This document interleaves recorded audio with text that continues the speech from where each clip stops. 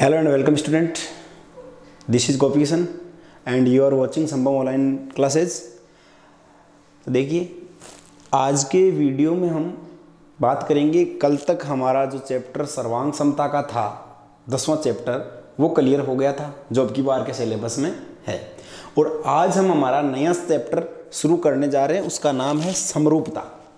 उसका नाम क्या है? समरूपता, जिसके बारे में थोड़ा सा बेसिक मैंने आपको सबसे पहले वीडियो में सर्वांग समता और समरूपता में डिफरेंट में बताया था और कुछ बातें ऐसी है जो आज बता दी जाएगी। तो आप ये ज़रूर ध्यान रखना कि हमारी वीडियो को आप लास्ट तक देखा करें। क्योंकि लास्ट तक बहुत सारी इंपॉर्टेंट बातें एक साथ बताई जाती है, इसलिए आप ध्यान रखना। अब देखिए question number two sorry question number two क्या? नेक्स्ट हमारा समरूपता।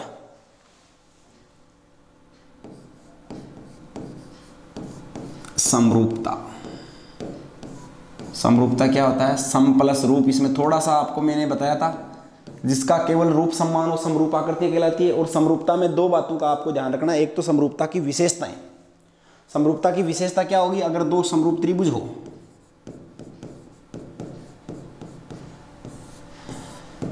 समरूप त्रिभुजों के संगत कोण बराबर होते हैं, वह संगत भुजाएँ समानुपाती होती है। हम लिखेंगे समरूप त्रिभुजों के संगत कोण बराबर व संगत भुजाएँ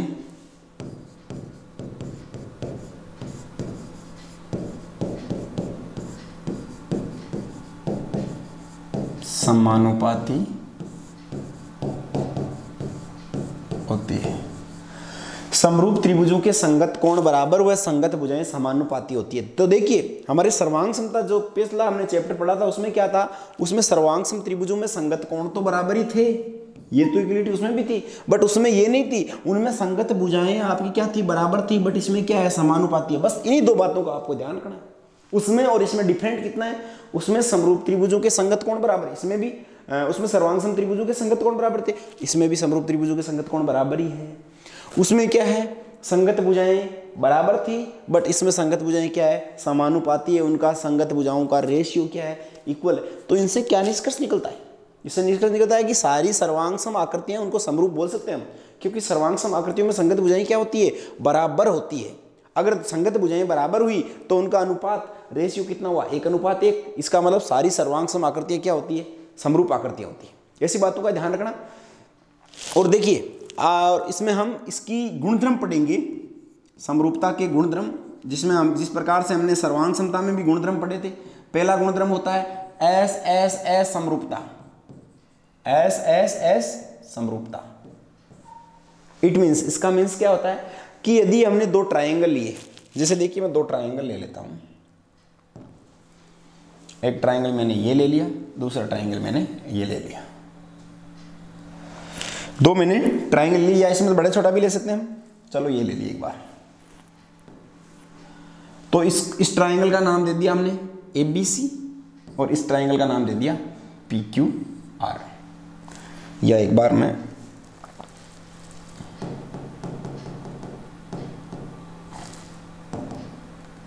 इस ट्राइंगल को थोड़ा सा इसे छोटा ले लेता हूँ या बड़ा ले लेता हूँ। बस इतना ही ले लिया। तो देखिए, इस ट्राइंगल का नाम दे दिया ए बी सी और इस ट्राइंगल का नाम दे दिया पी क्यू आर अब देखिए, इन दोनों ट्राइंगल में हम क्या करेंगे? एंगल इक्वल मिलेंगे कि संगत कोण क्या है? बराबर है। कॉरस्पॉन्डिंग एंगल आर इक्वल तो देखिए, इसका ये एंगल अगर इसमें 50 है तो इसमें भी इसका ये एंगल 50 है। इसका ये 60 सॉरी एंगल की बात नहीं है समरूपता, हम एस एस एस समरूपता बता रहे हैं तो एस एस एस समरूपता क्या हो जाएगी? एस एस समरूपता मतलब तीनों भुजाओं का अनुपात सम्मान होना चाहिए। साइड्स आर प्रोपोर्शनली जैसे अगर इसकी ये साइड सिक्स सेंटीमीटर है और इसकी ये साइड थ्री सेंटीमीटर है। इसकी ये साइड मान लिया कि फाइव सेंटीमीटर है, इसकी ये side two point five centimetre इसकी ये साइड फोर सेंटीमीटर है एंड इसकी ये साइड टू सेंटीमीटर है। तो देखो, इसमें ए बी साइड और कौन सी साइड का? पी क्यू साइड का रेशियो ए बी साइड और पी क्यू साइड का क्या है? रेशियो क्या है? इक्वल है। और उसी प्रकार से बी सी साइड और आपके क्यू आर साइड और आपका ए सी साइड और पी आर साइड इनका रेशियो सबका रेशियो क्या आ रहा है? टू अपॉन वन आ रहा है। देखो ना six upon three two upon one five upon two point five, two point five से फाइव, टू टाइम तो two upon one. Four upon two मतलब टू अपॉन वन। तो ये आपका रेशियो क्या है? इक्वल अगर किसी दो ट्रायंगल की संगत भुजाओं का अनुपात यदि तीनों संगत भुजाओं का अनुपात दूसरे किसी संगत त्रिभुज के तीनों भुजाओं, संगत भुजाओं के अनुपात के बराबर आ जाए तो वह दोनों त्रिभुज एस एस एस सिमिलरिटी से क्या होते हैं? समरूप त्रिभुज होते हैं।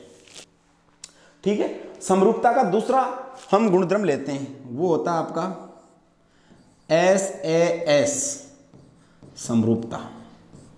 एस ए एस समरूपता। एस ए एस समरूपता क्या होती है? वही हम दो ट्रायंगल लेते हैं अब की बार भी। हमने अब की बार भी दो ट्रायंगल लिए। एक ये एक ये। हमने दो ट्रायंगल लिए। एक का नाम दे दिया ए बी सी दूसरे का नाम दे दिया पी क्यू आर अब की बार भी क्या है? अब की बार क्या है? एस एस मतलब दो भुजाओं का अनुपात क्या होना चाहिए? एक त्रिभुज की दो भुजाएँ, दूसरी त्रिभुज की संगत दो भुजाओं के बराबर है। जैसे इसका ये फाइव सेंटीमीटर इसका ये two point five centimetre and इसका ये सिक्स सेंटीमीटर एंड इसकी ये थ्री सेंटीमीटर दो भुजाओं का अनुपात सम्मान और उनके बीच का एंगल जैसे इसका ये एंगल थर्टी है तो इसका ये एंगल ही थर्टी होना चाहिए। ध्यान रखना ऐसा। तो इस प्रकार से आपके एस ए एस क्योंकि five point two point five कितना हो गया? क्योंकि इसमें देखो क्या हो गया? ए बी और पी क्यू का रेशियो इक्वल है आपके बी सी और क्यू आर के रेशियो के इक्वल उतना ही ले लिया मैंने टू अपॉइंट वन है, क्योंकि five point two point five two point one and six upon three two two upon one same हो गया?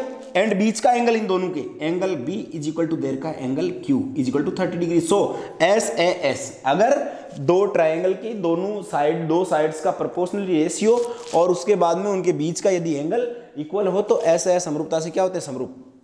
और तीसरा नियम है आपका ए ए ए समरूपता. ए ए ए समरूपता. ए ए मतलब एक ट्राइंगल के तीनों एंगल जैसे इसी में ले लेता हूँ मैं, जैसे इसका ये, अगर 50 है, ये 60 है और ये 70 है। तो फिक्स है, इसमें भी ये 50 आ गया यदि, ये 60 आ गया और ये 70 आ गया। तो दोनों ट्राइंगल आपके angle angle angle angle A is equal to angle P angle B is equal to Q and angle C equal to आपके एंगल आर तो ए ए ए, समरूपता से दोनों त्रिभुज क्या हो जाएँगे? समरूप त्रिभुज हो जाएँगे। और हमें अगर समरूप त्रिभुज है तो उसके बाद में संगत भुजाओं का अनुपात भी क्या होगा? समान है। और अगर इसमें संगत भुजाओं का अनुपात समान है तो समरूप त्रिभुज, संगत कोण भी क्या होंगे? बराबर होंगे। ऐसी बातों का आपको ध्यान रखना है। और देखो, चौथा एक सिमिलरिटी और बता रहा हूँ मैं। वो होता है केवल एंगल एंगल समरूपता। क्योंकि तीसरा और चौथा एक ही समझो आप। समरूपता। केवल ए ए समरूपता लगा सकते हैं हम। क्योंकि हमें पता है कि किन्हीं दो त्रिभुजों के दो दो कोण यदि आपस में बराबर हो तो तीसरे कोण तो स्वतः ही बराबर मिलेंगे। तो जैसे इसका जैसे केवल ये 50 देर का है, ये 60 देर का है। इसका भी ये केवल 50 देर का है, ये 60 देर का है। तो एंगल एंगल सिमिलरिटी से दोनों त्रिभुजों को हम सिमिलर प्रूव कर सकते हैं। क्यों? क्योंकि यदि ये फिफ्टी या सिक्सटी है तो कितना हो गया? 110 तो तीसरा कोण कितने बचेगा? 70 का। इसमें भी एक पचास, एक साठ है। 110 तो तीसरा कोण कितने बचेगा? 70 का।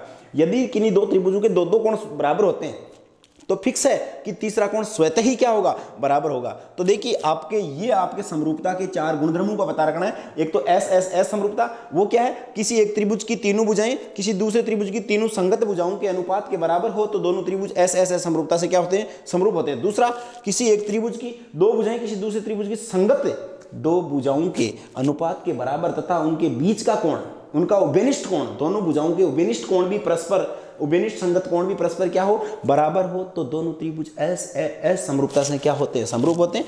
और सिमिलरिटी का तीसरा जो गुणधर्म है, वो है आपका ए ए ए समरूपता। मतलब कौन कौन कौन? समरूपता है। इसका मतलब क्या होता है कि एक त्रिभुज के तीनों कोण किसी दूसरे त्रिभुज के तीनों संगत कोणों के बराबर हो तो दोनों त्रिभुज कौन कौन कौन समरूपता से क्या होते हैं? समरूप। और यदि दो दो कौन कौन कौन समरूपता उसमें कौन कौन समरूपता भी लगा सकते हैं। क्यों? क्योंकि हमें पता है, अगर दो दो कोण किसी त्रिभुज के बराबर हो तो तीसरे कोण स्वतः ही क्या मिलता है? हमें बराबर मिलता है। तो ये होगी समरूपता के चार गुणधर्म। बस ये फिक्स ध्यान दिमाग में रखना है कि कौन से ट्राइंगल्स में हमें कौन सी सिमिलरिटी लगानी है। इनका ध्यान रखना है। इसी प्रकार से, इस नाम के अकॉर्डिंग ही होना चाहिए।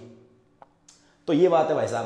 क्योंकि हमारे सर्वांग क्षमता में क्या था? सर्वांग क्षमता में वैसे थे, उसमें पाँच गुणधर्म लिए थे हमने। एस एस एस सर्वांग क्षमता उसमें एस एस एस का मतलब क्या था? कि संगत बुझाएँ बराबर है बट इसमें एस एस एस का मतलब है संगत भुजाएँ क्या है? समानुपाती है। बस इसी बात का आपको अच्छे से ध्यान रखना है। अब देखिए, हम उससे आगे की बात करते हैं। जैसे, अब इसके अंदर हम आगे की बात करते हैं तो आगे की बात में क्या होगा? कि जैसे 11.1 आपके देर की, उसमें कुछ नहीं है। यही देर के कि आपके पता है कि सभी वर्त आपस में क्या होते हैं? समरूप होते हैं। कि रूप उनका सेम होता है। सभी वर्ग क्या होते हैं? समरूप होते हैं। ये बातें आपको पहले बता भी दी मैंने। है ना? सर्वांग समता वाले वीडियो में करवा दी थी कि सभी वर्त क्या होते हैं? समरूप होते हैं। सभी वर्ग क्या होते हैं? समरूप होते हैं। बट उसमें वो भी लिखा था मैंने कि सम्मान त्रिजा के वर्त क्या होते हैं? सर्वांग सम होते हैं। सम्मान भुजा के वर्ग क्या होते हैं? सर्वांग सम होते हैं। बट सभी वर्त ले ले तो वो समरूप है। कितने भी वर्ग ले लो आप, चाहे समरूप मिलेंगे और सभी वर्ग, कितने भी वर्ग ले लो आप, वो भी क्या मिलेंगे आपस में? समरूप तो होंगे ही और उसी प्रकार से सभी संभव त्रिभुज सम्मान भुजाओं के त्रिभुज आपस में क्या होंगे? समरूप होंगे, क्योंकि उनकी भुजाओं का रेशियो अपने आप इक्वल हो जाएगा। और उसी के बाद भी बोल रहे हैं कि एक ये भी है, अभी सर्वांग समता की विशेषता मैंने लिखाई थी समरूपता की सॉरी उसमें क्या था कि सभी, ये बोल रहा है कि दो बहुभुज समरूप होंगे यदि उसी में दे रखा है क्वेश्चन में 11.1 के में दो बहुभुज समरूप होंगे। यदि, कब होंगे? जब उनके कोरस्पॉन्डिंग एंगल मतलब संगत कोण बराबर होंगे और संगत भुजाएँ क्या होगी? समानुपाती होगी। तो वह दोनों आपके जो है, वो बहुभुज क्या होंगे? समरूप होंगे। और उसके बाद में, उसने कुछ एक क्वेश्चन में क्या दे रखा है? हाँ यही समरूपता की आपको दो विशेषताएँ हैं। और एक में बोल रहा है कि समरूप आकृतियाँ बनाइए तो समरूप आकृतियाँ हम बना सकते हैं। तो 11.1 में वैसा कुछ खास नहीं है। अब 11.2 पे आते हैं हम। 11.2 से पहले हमारे एक इंपॉर्टेंट थोरम है, तीन या चार थोरम ऐसी। तो देखिए, सबसे इंपॉर्टेंट थोरम है हमारी थेल्स थोरम आधारभूत समानुपातिकता परमे जिसको अंग्रेज़ी में बोलते हैं बीपीटी बेसिक प्रोपोर्शनली थ्योरम, या बोलते हैं थेल्स थ्योरम। तो हम थेल्स थ्योरम थेल्स परमेय का यूज़ करते हैं। सबसे इंपॉर्टेंट परमेय है, परमेय 11.1 प्रश्नावली 11 का सबसे पहले ही इंपॉर्टेंट परमेय आ गया भाई। 11.1 थेलस थ्योरम, थेलस परमेय या बेसिक प्रोपोर्शनली थ्योरम बीपीटी मतलब आधारभूत समानुपातिकता परमेय। तो ये है 11.1 मतलब थैलस थ्योरम। अच्छे से समझना इसको, बहुत अच्छे से। थैलस परमेय। या इसको बोल सकते हैं हम आधारभूत समानु पाती परमेय, आधारभूत समानुपाती परमेय। पीपीटी बेसिक प्रोपोर्शनली थ्योरम अब देखिए, ये थेल्स पर में है क्या? कि किसी त्रिभुज की, यदि किसी त्रिभुज की एक भुजा के समांतर यदि कोई रेखा खींची जाए, देखो इसको मैं लिखता हूँ। थेल्स थ्योरम क्या है? यदि किसी त्रिभुज की एक भुजा के, एक भुजा के समांतर कोई रेखा खींची जाए, कोई रेखा खींची जाए तो वह रेखा तो वह रेखा, शेष दोनों भुजाओं को, वह रेखा, त्रिभुज की शेष दोनों भुजाओं को, त्रिभुज की शेष दोनों भुजाओं को सम्मान अनुपात में विभाजित करती है। सम्मान अनुपात में विभाजित करती है। तो ये आपको बात याद रखनी है भाई। कई थोरम लगाएँगे तो हम थेल्स थोरम लिख सकते हैं, परंतु ये लाइन होगी तो हम याद रखेंगे ना कि थेल्स थोरम लग रही है नहीं लग रही यदि किसी त्रिभुज की एक भुजा के समांतर, किसी त्रिभुज की एक भुजा के समांतर यदि हम कोई रेखा खींचें तो वह रेखा निश्चित ही एक भुजा के समांतर खींच दी तो बाकी दो भुजाएँ तो बची ना उस त्रिभुज की। बाकी दोनों भुजाओं को क्या करती है? सम्मान अनुपात में विभाजित करती है। यही थेलस थोरम है। अब इसको हम प्रूव कर रहे हैं। तो देखिए थेलस थोरम बड़ी इंटरेस्टिंग थोरम है। हम इसको प्रूव कैसे करेंगे? तो सबसे पहले हम इसकी आकृति लेते हैं। तो देखिए, हम इसकी आकृति लेते हैं। आकृति में क्या लेना है? यदि किसी त्रिभुज तो हम एक त्रिभुज उठाते हैं सबसे पहले तो। तीन कोणों वाला त्रिभुज होता है, ये तो आप सबको पता है ही भी तो ये मैंने आकृति में एक त्रिभुज उठा लिया। लो साहब अब क्या बोला? त्रिभुज की एक भुजा के समांतर। तो त्रिभुज की एक भुजा के समांतर। मतलब त्रिभुज की तीन भुजाएँ होगी। ए, बी और सी। इसकी एक भुजा के समांतर एक रेखा खींचनी है। इस त्रिभुज की एक भुजा के तो मैं बी, सी भुजा के समांतर रेखा खींचता हूँ यहाँ से। ये। त्रिभुज की एक भुजा के समांतर, हालाँकि इसको काटते हुए हम आगे भी खींच सकते हैं। देखिए, इसको थोड़ी सी मैं आगे खींच देता हूँ।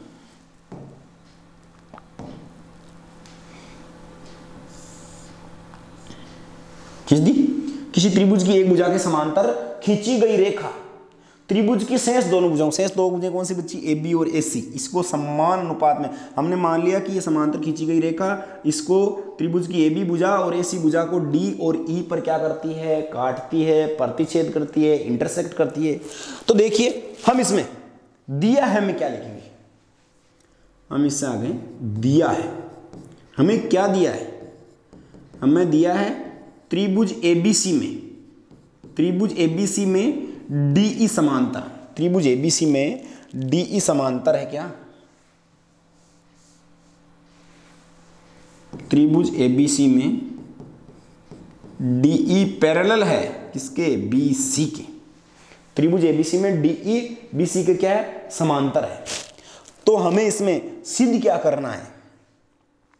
सिद्ध करना है। तो देखिए इसको हम ऊपर तक ले चलते हैं। आपकी नज़रों के सामने लेके चलते हैं हम। तो देखिए क्या है? सिद्ध करना है। प्रूव डेट सिद्ध करना है। तो हमें सिद्ध क्या करना है वो देखिए।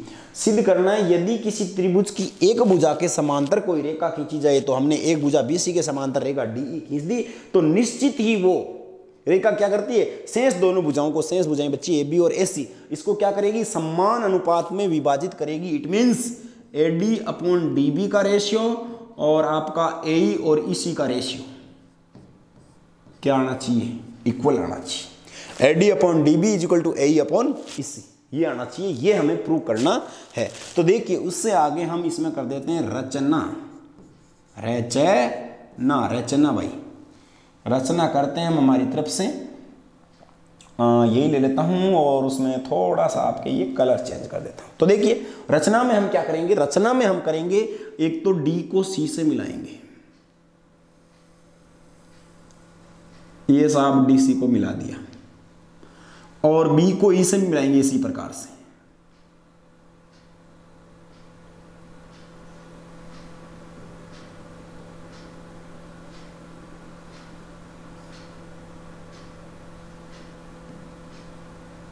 एकदम कूट से नहीं आ रही हुई ये देखो, इसके कोने से आ गया। सी डी व बीई को मिलाया। रचना का पहला काम तो यही होगा। ये लिख देते हम। रचना क्या कर देंगे? डी सी व बीई को मिलाया। डी सी व बीई को मिलाया। पहला काम तो हमारा यही है। तथा, अब दो काम और करेंगे। परपेंडिकुलर डालेंगे मतलब लंब डालेंगे, लंब कैसे डालेंगे, वो देखिएगा आप। आपके डी से भुजा सी पर और ई e से भुजा ए बी पर हमें क्या करने हैं? परपेंडिकुलर डालने हैं, लंब डालने हैं। तो देखिए हम किस प्रकार से डालेंगे। यहाँ से लो, ये। इस भुजा पर परपेंडिकुलर कर दिया और यहाँ से इस भुजा पर परपेंडिकुलर। ये हमने लंब डाल दी ध्यान रखना कि यहाँ से ये ये ये ये लंब मतलब 90 डिग्री, सॉरी एक टीम की हो रही भी ये, ठीक है? परपेंडिकुलर डाला तो इसको, इसी से दौड़ा देता हूँ क्या मैं?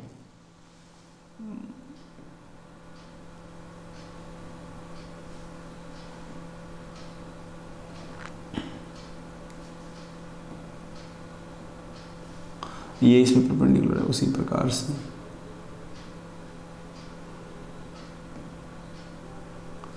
ये परपेंडिकुलर डाल दिए। हमने क्या किया? कि ई e से E F perpendicular A B पर, और डी से D G perpendicular A C पर खींच दिए। हमने लिखे तो था ई एफ़ पूरी ए बी पर, और दूसरा डी जी पूरी ए सी पर। खींचे, ज़ोर से पकड़कर खींचे। ई e एफ़ इसके शीर्ष ए से, त्रिभुज बी ई डी के शीर्ष ई e से इसकी सम्मुख भुजा ए बी पर क्या खींच दिया? परपेंडिकुलर खींच दिया। और त्रिभुज डी ई सी के शीर्ष डी से सम्मुख भुजा ए सी पर हमने perpendicular D G perpendicular A C हमने खींच दिया। ध्यान रखना भाई। अब इंपॉर्टेंट बात स्टार्ट हो रही है उपपति इसको विशेष तौर से आपको ध्यान रखना है। उपपति उपपति में आपका क्लास नाइन्थ का पढ़े हुए एक थोरम है परमे है, वो आपके काम में आएगा। कौन कहता है क्लास नाइन्थ काम में नहीं आती? बहुत ज़्यादा काम में आती है। देखिए, क्या है परमेय? कि किसी उभयनिष्ठ आधार व दो समांतर रेखाओं के मध्य खींचे गए त्रिभुज क्षेत्रफल में क्या होते हैं? बराबर होते हैं। या हम इसको ऐसे बोल देंगे कि उभयनिष्ठ आधार व समांतर रेखाओं के मध्य बने त्रिभुजों का क्षेत्रफल क्या होता है? बराबर होता है। हम लिखेंगे उभयनिष्ठ आधार व दो समांतर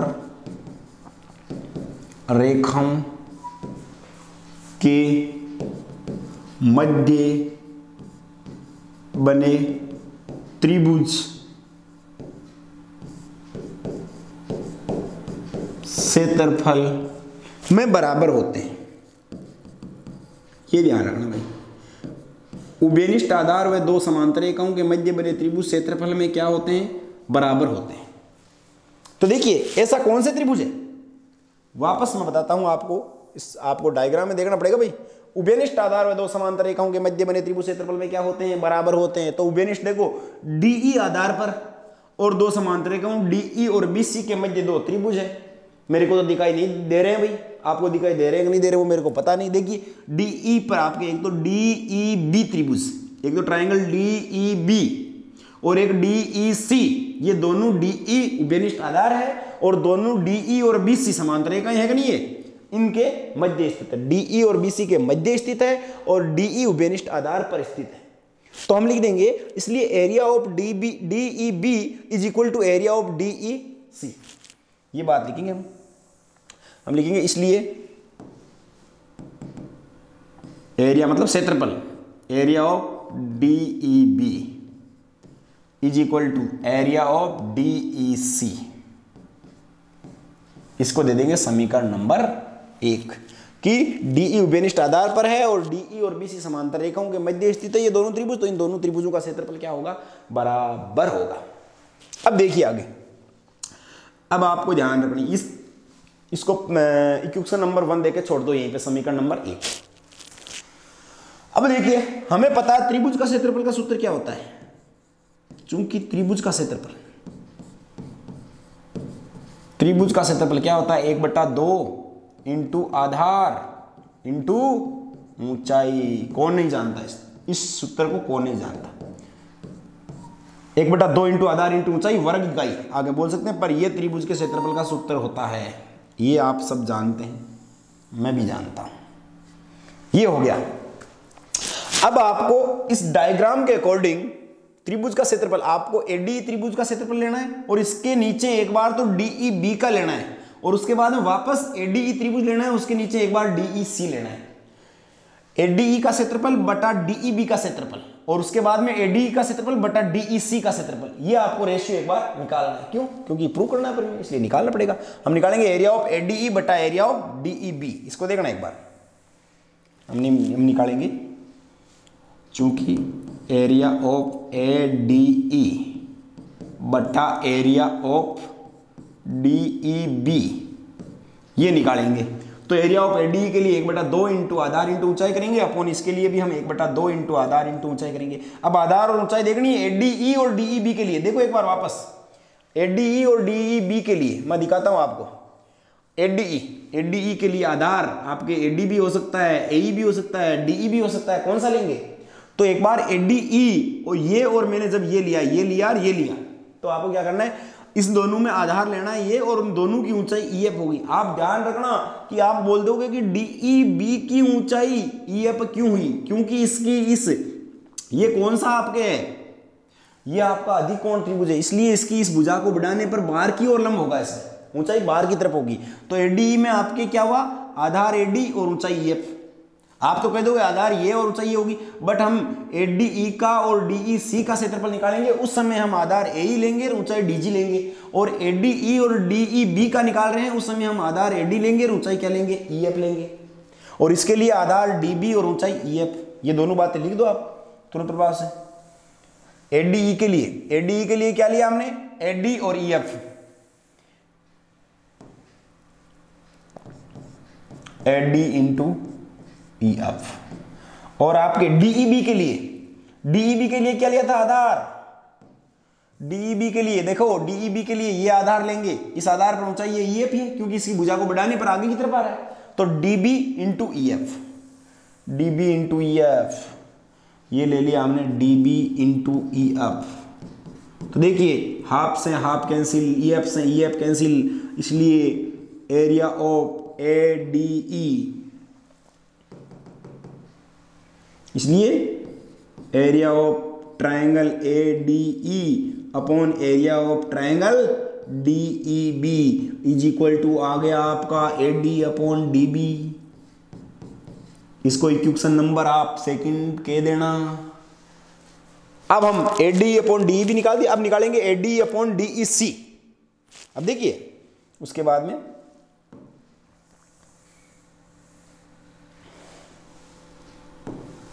तथा area of A D E upon area of triangle D E C इसके लिए एक बटा दो इंटू आधार, इसके लिए भी एक बटा दो इंटू आधार इंटू ऊंचाई। अब देखना है एडीई और डीई सी के लिए आधार और ऊंचाई देखनी है, दोनों के लिए एक साथ ही देख रहा हूँ मैं। ध्यान रखना एडीई और डीई सी एडीई और डीई सी एडीई और डीई सी एडीई और डीई सी अब देखिए एडीई ये त्रिभुज है। इसका आधार अबकी बार ये लेना पड़ेगा, क्योंकि ए डी ई और डी ई सी लिया है अबकी बार। तो आधार ए e और ऊंचाई डी जी इसके लिए वापस आधार ई सी और ऊंचाई इस भुजा को आगे बढ़ाने पर D G A into D G और E C into D G A into D G और ई सी इंटू डी जी ध्यान रखना, ये गड़बड़ हो गई। वापस देखना।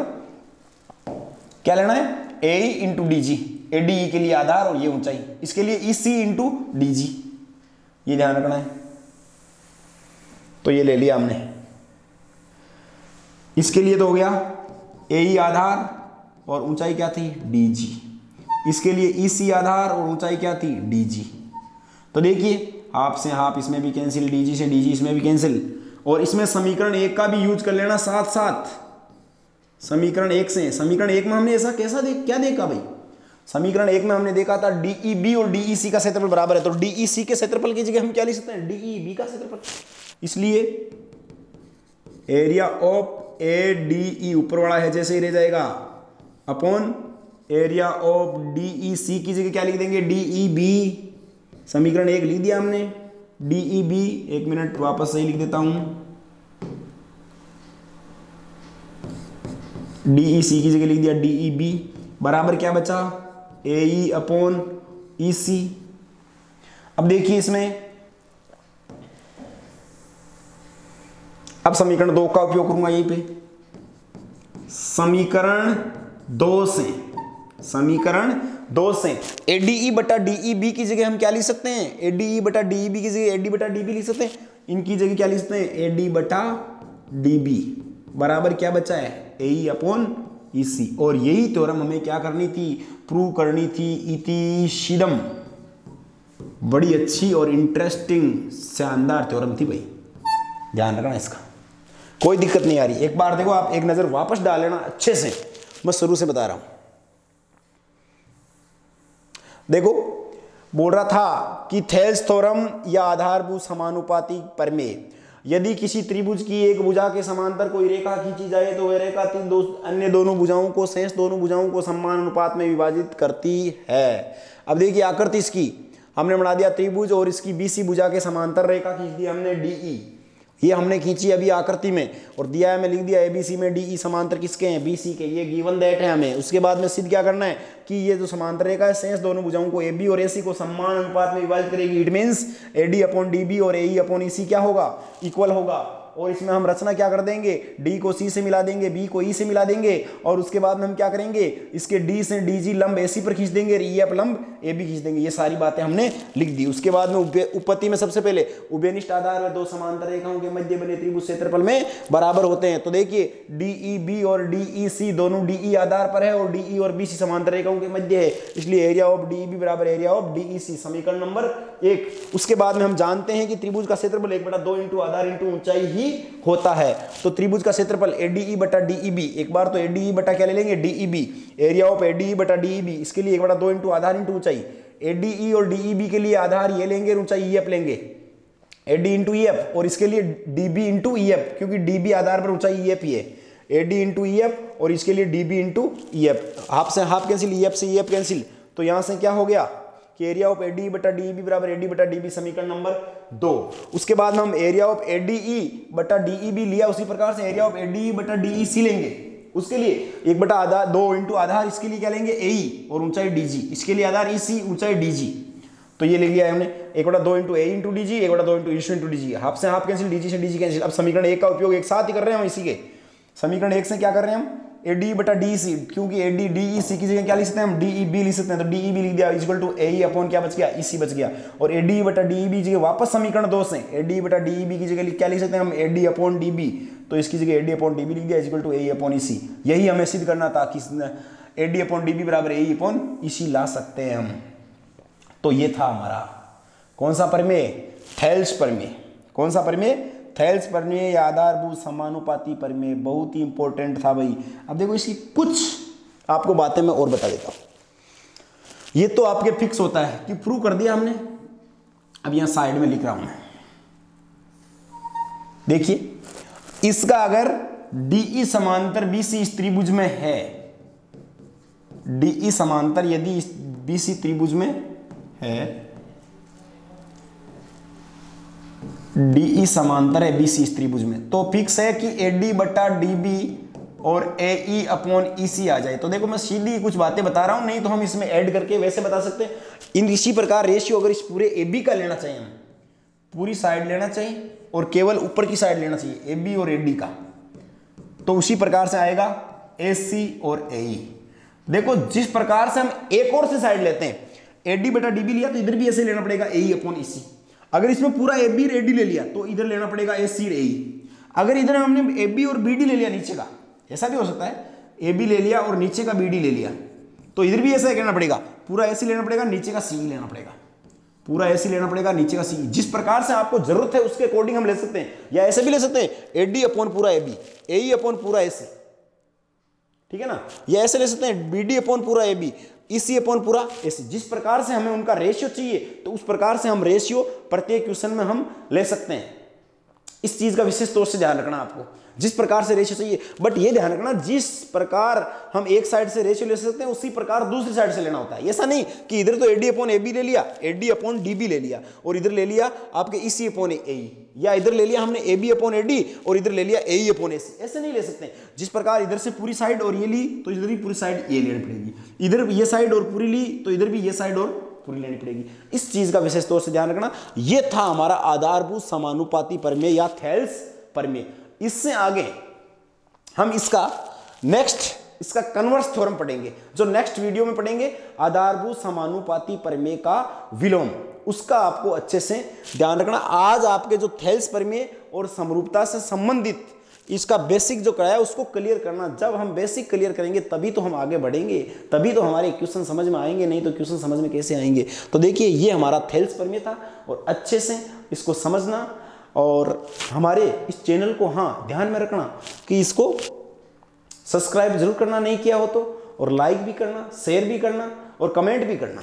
और आपके इसका अगर नोट्स आपको चाहिए तो इसके नीचे लिंक पे आप जाओगे तो आपको नोट्स भी अवेलेबल हो जाएँगे। बस धन्यवाद।